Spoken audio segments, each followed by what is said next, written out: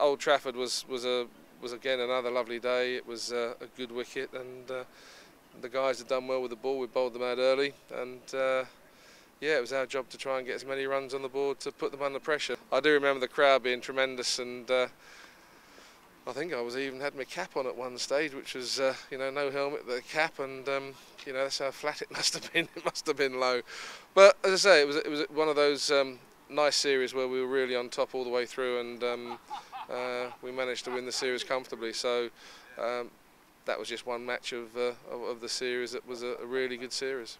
I suppose the relief was uh, just prior to that in India where I managed to get one uh, uh, on tour in India. So that was a real big sort of uh, sigh of relief for me and um, to be able to do it and get back into it when we got back home was, was nice. Uh, just to show that you could do it again against uh, you know a different side and a different different place, different quality of bowlers. So um, yeah, it just gave you that huge huge boost and bit of confidence.